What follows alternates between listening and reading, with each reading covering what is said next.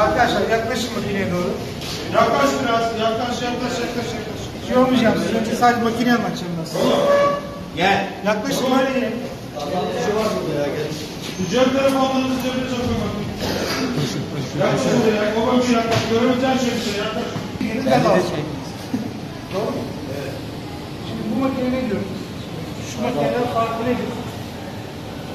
Bunlar step kontrollü konvansiyonel makine. Yani bu makinede kart, elektronik kart sistemi yok.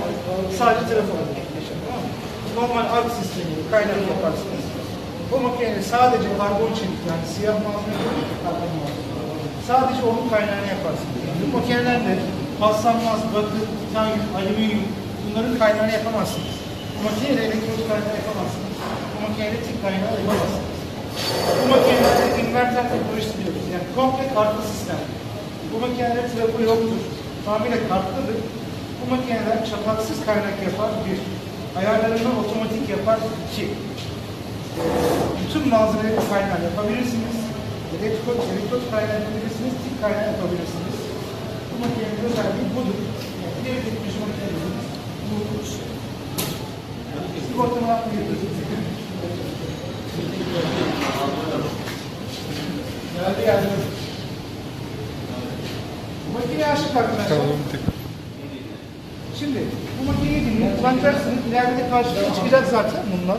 İleride karşılaşacaksınız. Bak fabrikanın bir tanesinde karşılaşacaksınız. Başınıza gelecek. Şimdi bu makinede ne yapıyorsunuz? Şimdi önce şu kısmı anlatalım. Burada kullanacaksınız sonuçta. İyi ezberleyin bunu. Ee, şimdi burada tetik yöntemleri var arkadaşlar tamam mı? Tetik yöntemi gaz altında ne işe yarıyordu? Şimdi şu en üstte gördüğünüz iki tane ok var. Bir aşağı bir yukarı diyor tamam mı arkadaşlar? İki ok görüyorsunuz zaten sağda solda. Bu iki ok standarttır. Her makinede görebilirsiniz. Bu makineye özel bir şey değil.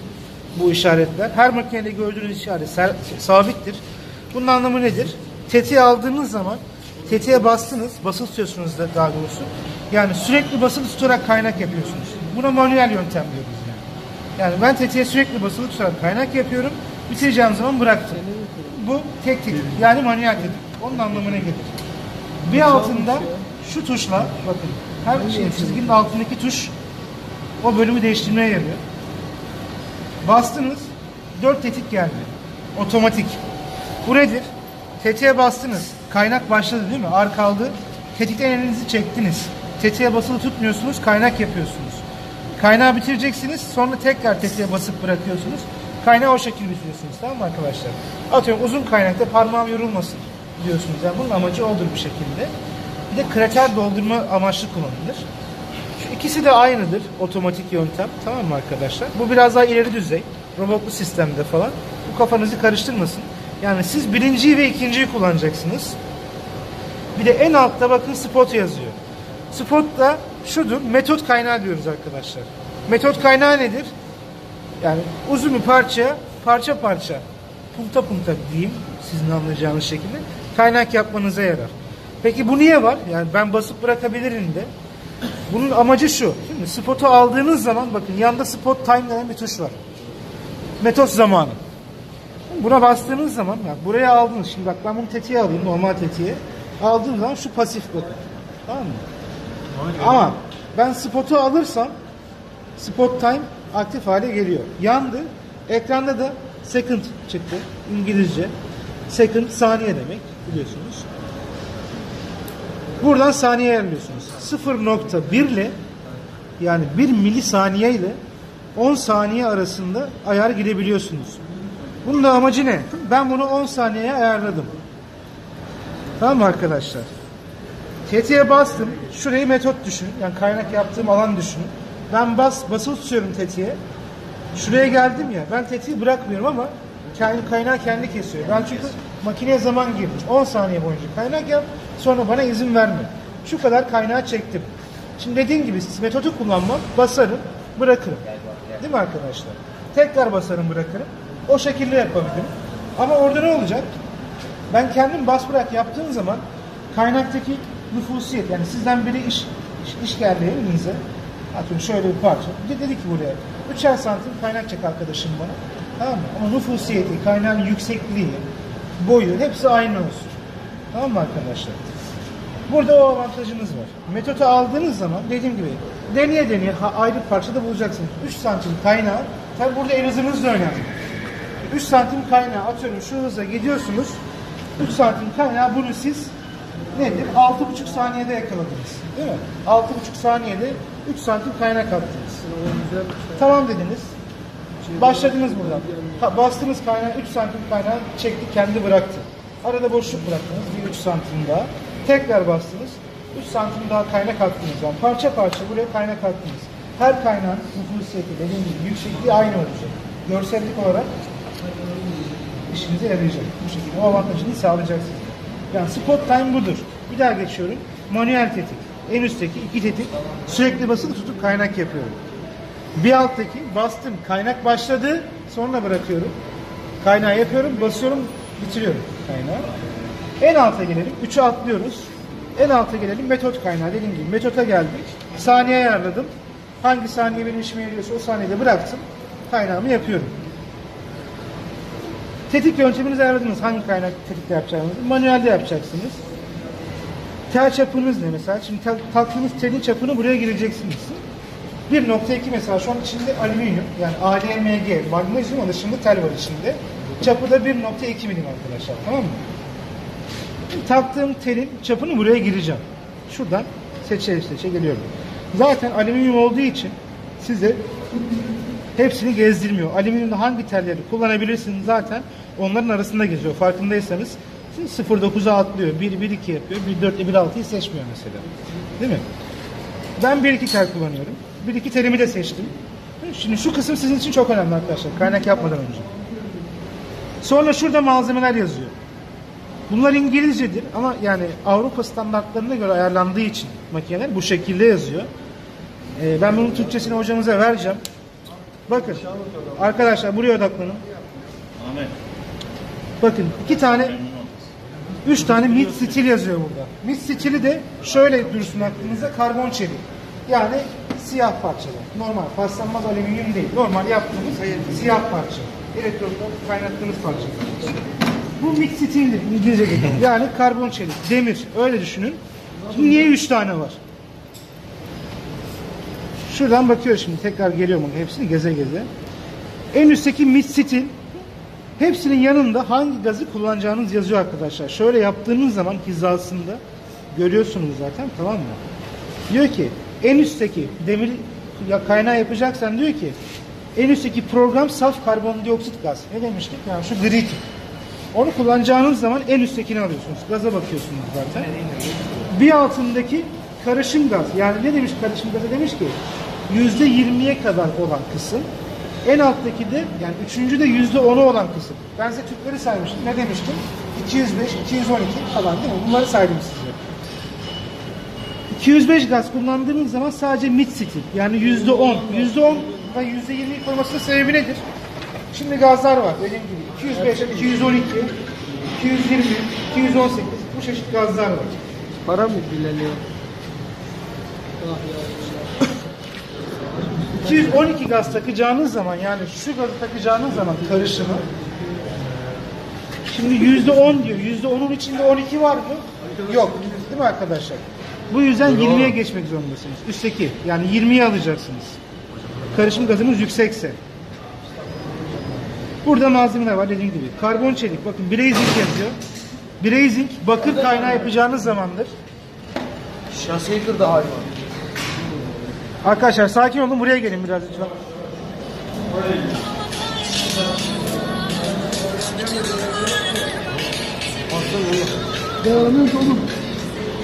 Telefon gel buraya gel. Ersin gel Ersin. Telefonu meşgule at. Buyur abi. Brazing kaynağını alıyorsunuz. Brazing kaynağı dediğimizde bakır kaynağıdır. Söylemiştim size. Bakır kaynağı yapacağınız zaman brazing'i alıyorsunuz. Bakın en altta AL yazıyor. Bunlarda alüminyum kaynağı yapacaksınız, yapacağınız zaman yumuşak tel takıyorsanız al pura yazıyor. Buraya alıyorsunuz. Sert tel takacaksanız ALMG'yi alıyorsunuz. Stanley stil yazıyor burada. Stanley stiller de arkadaşlar krom nikel yani paslanmaz kaynağıdır. Paslanmaz kaynağı yapacağınız zaman da Stanley stili alıyorsunuz. Biz şimdi alüminyum yapacağız. kaynaklığımız yok burada. Çapaklı kaynak yaparsınız. Oğlum şımarmayın diyorlarım. Tik yazdığında da tik torcunu takıp tik kaynağı yapabilirsiniz. Stick ne demektir? Elektrot kaynağı. Elektrot pensesini takıp burada elektrot kaynağı yapabilirsiniz arkadaşlar. Nereye takacağız elektronik? Bak burada resimleri var zaten. Görüyor musunuz? Ona göre takacaksınız. Üstünde resim gösteriyor zaten size. Şimdi DC pulseyi aldık. Şimdi A ışığı bak. Şurası amper bu ekranım benim. Burası voltaj ekranı. Voltaj ekranını dokunmuyorsunuz. Zaten makine kendi ayarlayacak. Ben şimdi amper olarak ayarlayacağım. Alüminyum kaynağı yapacağız. Şimdi alüminyumda milim başına 30-35 amper vermeniz gerekiyor arkadaşlar. Tamam mı? Kaç milim yapacağız biz? Atıyorum 3-4 milim yapacağız. Biraz yüksek vermeniz her zaman iyidir alüminyumda. Şimdilik 125 130 130 amperle başlayalım. Yani 125 amperle başlayalım. 125 ampere ayarladım ben. Şu an direkt kaynağımı yapabilirim. Tamam mı? Makinem hazır durumda şu. an. Başka bir ayar yapmama 100 gerek yok. Da Bakın voltajı kendi ayarlıyor zaten. Sinerji anlamı budur. Siz bir ayar yaparsınız, diğer ayarı kendisi yapar ve malzemeleri tanıtıyorsunuz. Sinerjinin anlamı budur arkadaşlar. Pals de çapaksız demek. Yapalım mı bir ya? Yapacağız arkadaşlar.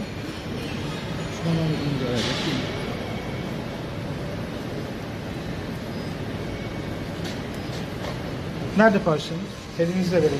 Şimdi tetiğe basmadan şuna basarak Ben yapayım bakayım.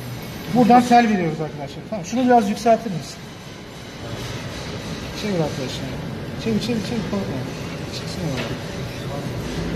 Gördüm oğlum. Midem Ersin oraya kadar soyun.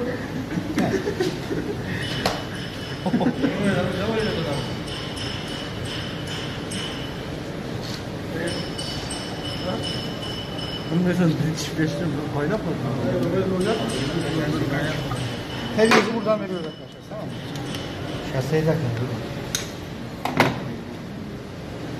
O Bülent Yüzük kardeşim.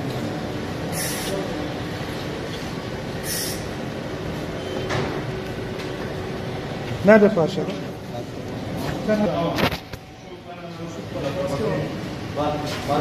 Maske verin lan.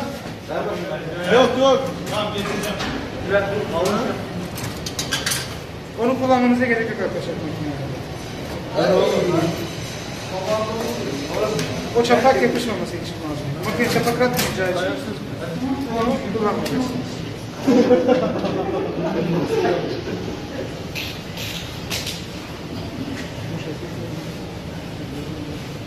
Masayı çekebiliriz. Boyalı parçayı takmıyorum.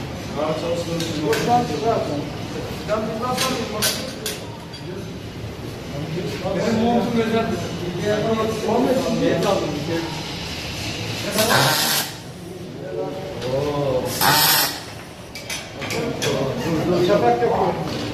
On numara abi ya. Çok yaptım.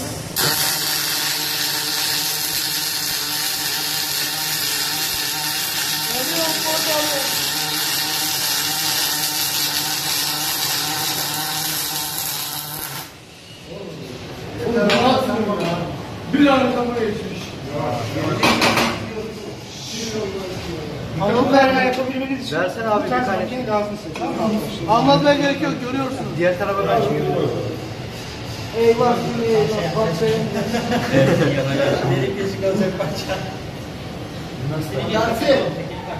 senin. Ersin sen kaynak yarışmasına gideceksin.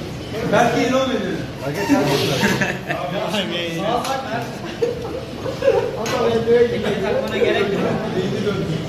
Onun ikisi de sağ olabilir, sol olabilir. çok heyecanlı.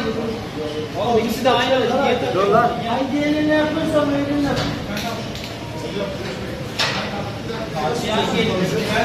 Ben biliyorum ya. Buraya doğru mu Aşağı çekilmez. Arkadaşlar aşağı, aşağıdan yukarı. Gaz altında elektrot hariç bakın. Elektrot çok farklı. Elektrot da şu şekilde. Bu elektrot düşünün. Parçayı bu şekilde tutup elektrodu geri çekersin. Tamam mı arkadaşlar? Gaz altında her zaman tam tersi olacak. Kaynağı yapacağın yöne şu açıyı vereceksin. Yaklaşık 30 derece. Bu açıyı kaynağı yapacağın yöne gideceksin. Ve yüksekliğin de yaklaşık 10 milim yani 1 santim falan olacak. Tamam mı? Ne yakın olacak ne uzak olacak. Yani ne uzak ne de yapıştıracaksın. bir santim şu yüksekliği koruman lazım. Baştan sona kadar. Ve sağa sola da oynamayacağız. Tamam mı? Ve açımız bu olacak arkadaşlar. Siz görüyor musunuz? Gaz altında açı şu. Önemli olan şey de şu.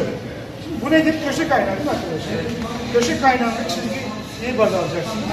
Çizgiye paralel olacak sonucunuz. Yani ne bu şekilde tutacaksınız ne bu şekilde.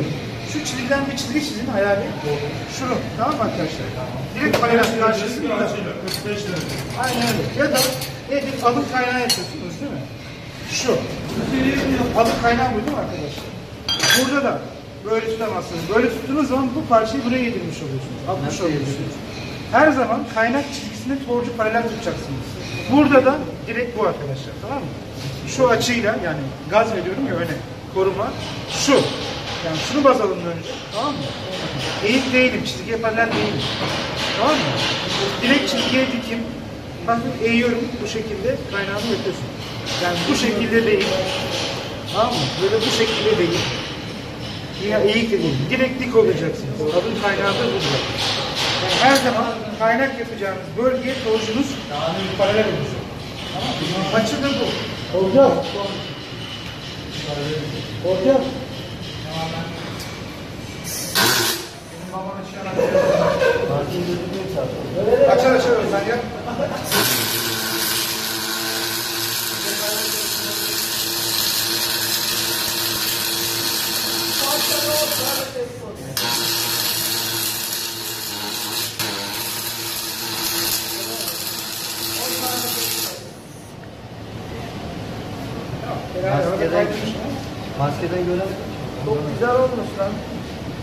Ben maskeyi bozdum ya. basın ayağına bozdum. Güzel bir çekmiş. Gönder bakayım Ersin bu tarafa. Devam et. Her şimdi görünüyor. Bravo be, kimin oldu be? Şimdi bindirme onu. Bindirme nasıl? Bilmiyorum senin de olmadı. Bindirme bak. Bunun kalın malzeme düşünün. Tamam mı? Resim yerde kalın malzemeyi paso görüyorsun şu an. Tek paso çekmiş oluyor. Evet abi. Terim oluyor. Üç paso dediğiniz zaman, tamam mı? Bindirme işlemi Ortadan atarsın ve sağdan soldan atıyor. Ama nasıl atıyor? Şimdi bindirme atacağın zaman da şu an birleşme yeri neresi olacak? Üst kısım. Şurası. Alttaki malzeme bu. Yani şu kaynağın bittiği kısmı baz alacaksın.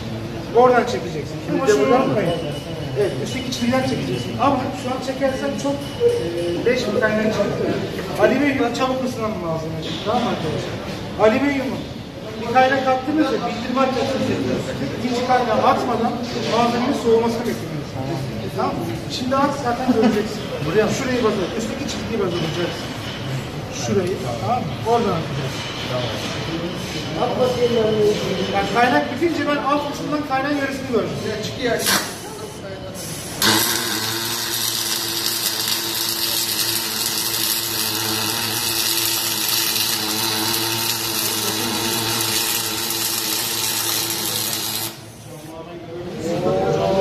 Yokuş aşağı indi. Yokuş aşağı indi. Ne farkındayız. Şu an bu kaynak kötü kaynak. Kaynağın güzel olması için nedir biliyor musun? Şu Diğer var ya, burada hiçbir engel olmayacak. Dümdüz, şu malzeme gibi. Yani o havuz geliyorsun ortada oluşuyor ya önde, sen onu takip ediyorsun kaynak? Onu öyle bir takip edeceksin ki, bak yayınmada yayılıyor ya giderken. Onları iyi bakman lazım. Yani bak, burada hızlı geçmişsin, burada yavaş geçmişsin demek. Tamam mı? Hızlı geçmişsin daralmış, yavaş geçmişsin genişlemiş. Buranın çizginin dümdüz olması lazım. Hiçbir şekilde engeli olmayacak. Şuradaki çizgiler de aynı hizada olacak. Yani hızı da doğru değil. Tamam mı? Baş, artık dediğim gibi aşağı yukarı oynamışım.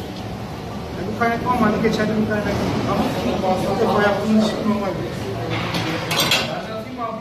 Tamam artık başka parça alışın. Bu şekilde çalışın.